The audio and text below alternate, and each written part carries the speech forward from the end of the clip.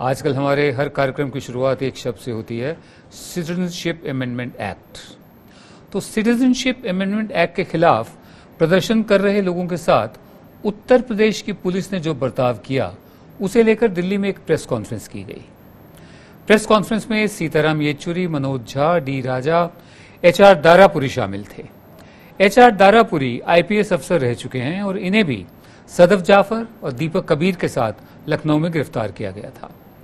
Conference के दौरान सीताराम येचुरी ने कहा कि प्रदर्शनों के दौरान हिंसा उन्हीं राज्यों में हुई है जहाँ बीजेपी की सरकार है, या जहाँ बीजेपी की पुलिस है, जैसे दिल्ली।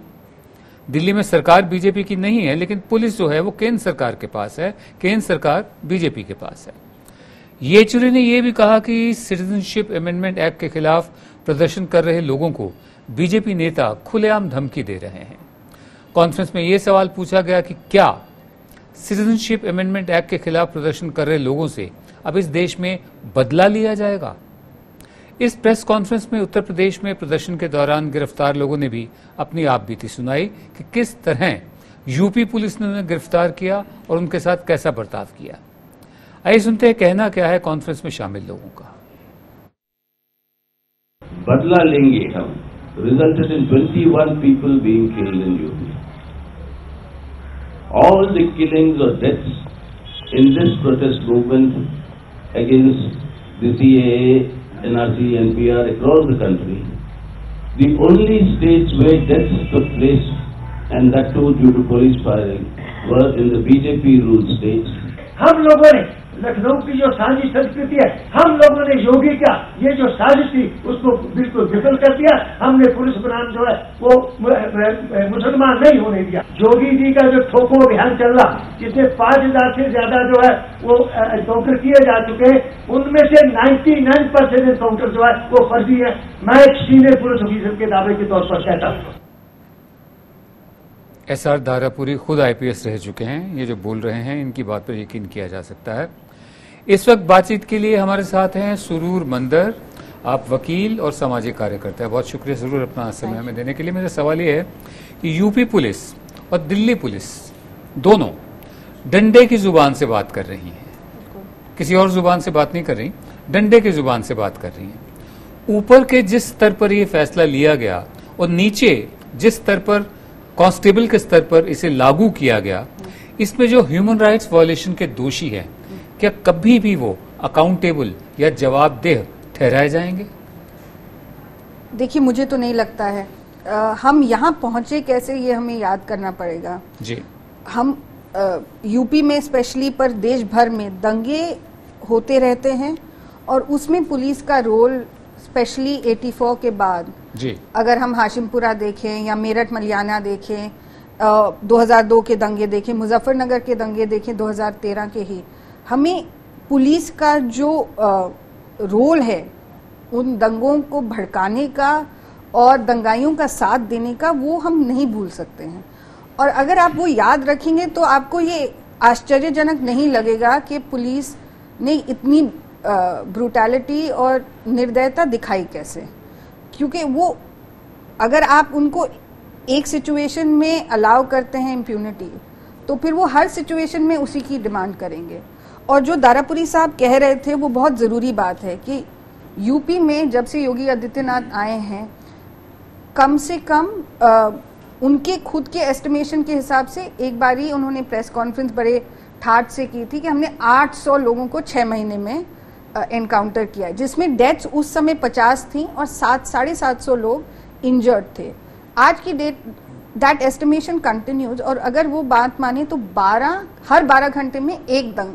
एक एनकाउंटर यूपी में हो रहा है। और उसकी हमने कभी कुछ नहीं किया। There is no public outreach तो उसी सिचुएशन में अब अगर वो घर में घुस के लोगों को मार रहे हैं तो वो अगला ही स्टेप है। जी इसलिए सवाल हमने उठाया इस पर हम और भी आगे चर्चा करेंगे। ये जो ह्यूमन राइट्स वायलेशन हुए हैं। मेरे हुकूक हैं बहुत। मैं नागरिक हूँ।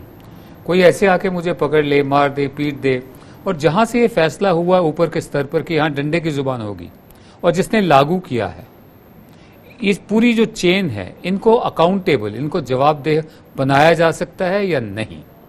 हम आगे बढ़ते हैं। सिटीजनशिप अमेंडमेंट एक्ट के खिलाफ हुए प्रदर्शनों में सबसे ज़्यादा हिंसा उत्तर प्रदेश में हुई है, जैसे सरूर भी बता रही हैं। जिस राज्य में प्रदर्शनकारियों के साथ पुलिस के बर्ताव पर सवाल उठे, जहाँ सबसे ज़्यादा प्रदर्शनकारियों की मौत हुई, जहाँ की पुलिस पर सबसे ज़्यादा बर्बरता के इल्ज़ाम लगे, वो उत्तर प्रदेश है। टाइम्स ऑफ़ इंडिया के मुताबिक प्रदर्शन के दौरान उत्तर प्रदेश में मरने वालों की तादाद 24 तक पहुँच चुकी है। सिटीजनशिप अमेंडमेंट एक्ट के खिलाफ हुए प्रदर्शन के खिलाफ बाद गिरफ़्तार हुए वकील मोहम्मद शोएब को आज जमानत मिली। टेलीग्राफ की रिपोर्ट के मुताबिक योगी आदित्यनाथ की सरकार पर इल्ज़ाम है कि उसने मोहम्मद शोएब को झूठे केस में फंसाया। सदफ जाफ़र, इन्हें भी सिटीजनशिप अमेंडमेंट एक्ट के खिलाफ हुए प्रदर्शन के बाद गिरफ़्तार किया गया। सदफ को जब रिहा किया जा चुका है अब रिहा, किया जा चुका है। सदफ ने यह भी बताया कि उन्हें जेल में लगातार पाकिस्तान से आया दहशतगर्द कहा गया। सदफ के मुताबिक उनके साथ जेल में पुलिस ने मारपीट भी की। रिहा होने के बाद सामाजिक कार्यकर्ता दीपक कबीर ने बताया कि उन्हें पुलिस ने लगातार अर्बन नक्सल कहा। दीपक कबीर के साथ भी पुलिस ने जेल में मारपीट की थी। मेरा दूसरा सवाल आपसे ये है सुरूर। जी। ये तो दो तीन इंडिविजुअल केसेस है जो मैंने बताया सदफ जाफ़र का बताया दीपक कबीर का बताया जैसे आपने ज़िक्र किया दारापुरी साहब का। ऐसे सैकड़ों केसेस में नागरिकों के सामने क्या रास्ता है? क्या डिफेंस है कि एक दफे पुलिस की पकड़ में आने के बाद नागरिक का जिस्म उसकी जान और उसकी इज़्ज़त बची रहे? क्योंकि एक डंडा जब पड़ता है किसी दारापुरी जैसे शख्स को तो ये ह्यूमिलिएशन है बहुत बड़ी कि सारी उम्र हाँ इतने बड़े ओहदे पर काम किया अपनी ड्यूटी की और इस उम्र में पुलिस का डंडा पड़ रहा है हुक्म ऊपर से आया है। तो उनकी ऑप्शन किसी भी नागरिक की ऑप्शन क्या है कि एक दफे पुलिस की पकड़ में आ गया? तो उस, उसकी उसकी प्रोटेक्शन क्या है? देखिए कानून ने तो बहुत प्रोटेक्शन दिए हैं हमारे आर्टिकल 20, 21, 22 सारे प्रोटेक्शंस देते हैं। पर असलियत में वो वो बात होती नहीं है। जी। अ, तो हमें दो तीन चीज़ें एज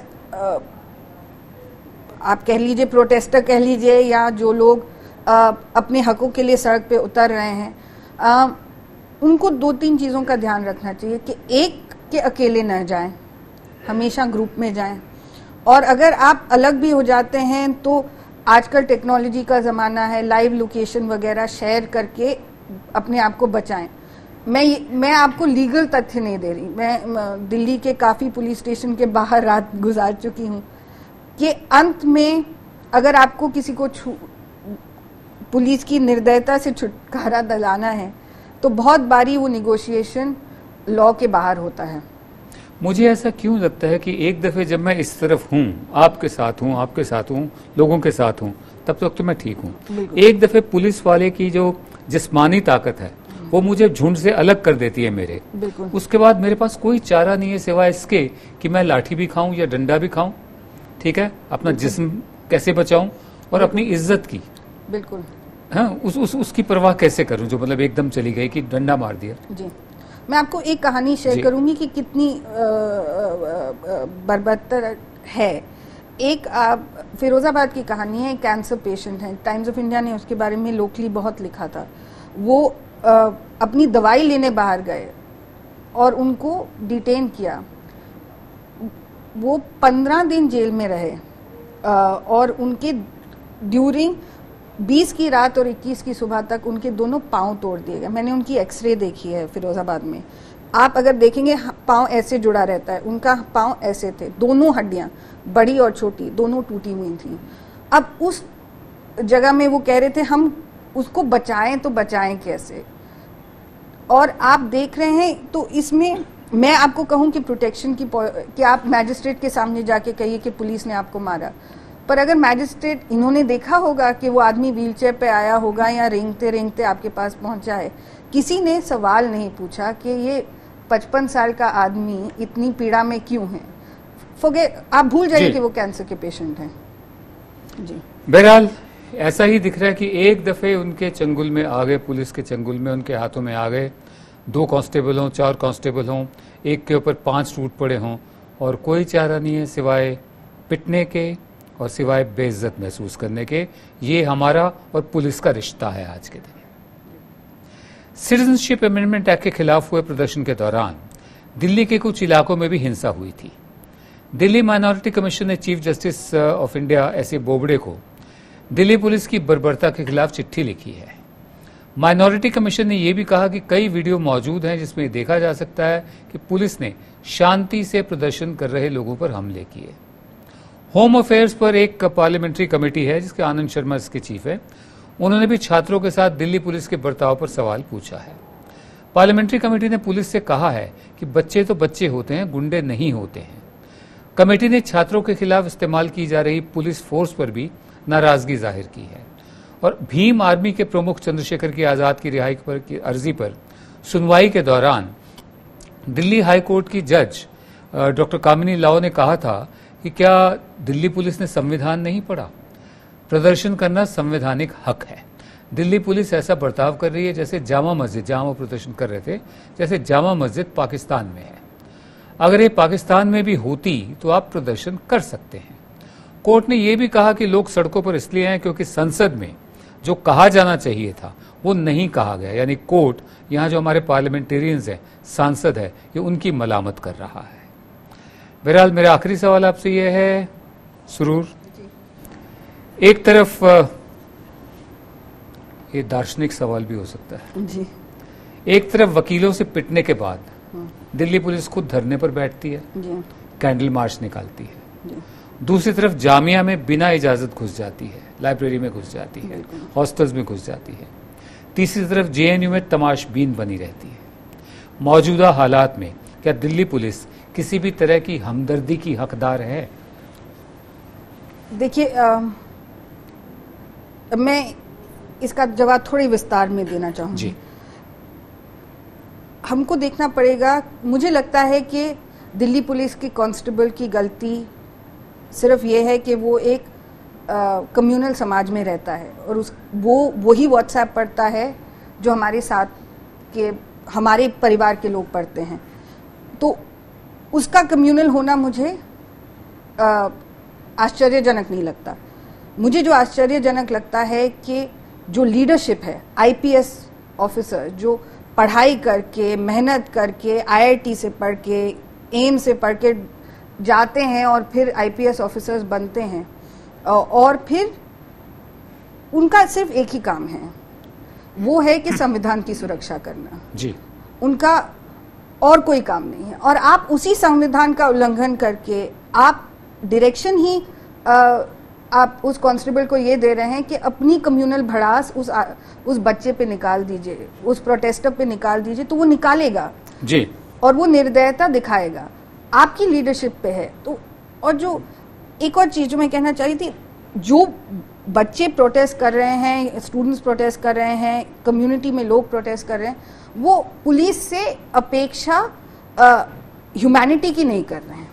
वो सिर्फ़ अपेक्षा ये कर रहे हैं कि आपकी ड्यूटी हमारी सुरक्षा के लिए है और संविधान की रक्षा के लिए है। अब पुलिस को निर्णय ये लेना है कि क्या वो पॉलिटिकल मास्टर्स की बात ज़्यादा मानेगी जी। या संविधान की। क्योंकि अगर वो पॉलिटिकल मास्टर्स की बात मानेगी तो वो इरेलीवेंट हो जाएगी। पर अगर वो संविधान की बात मानेगी तो वो इंस्टीट्यूशन सिर्फ़ फूलेगा और बढ़ेगा। जी जी। सुरूर बहुत शुक्रिया। अपना समय हमें देने के लिए ये हकीकत है। जो सुरूर ने बात उठाई कि जो लीडरशिप है पुलिस की जो आईपीएस बनते हैं आईएएस बनते हैं ये उनके ज़मीर की भी बात है। और उन्होंने देखना है कि उन्हें संविधान की रक्षा करनी है। या अपने जो पॉलिटिकल मास्टर्स हैं आका हैं सियासी आका उनकी बात सुननी है। और जहाँ तक कांस्टेबल्स की बात है, अगर उनके दिलों में ख्वाहिश है कि उनका बेटा भी आईपीएस बने आईएएस बने तो उन्हें स्टूडेंट्स के साथ उन्हें दूसरी निगाह से देखना पड़ेगा। वरना तैयार रहें कि उनका बेटा भी या तो कांस्टेबल बनेगा या ठेला लगाकर पकौड़े बेचेगा।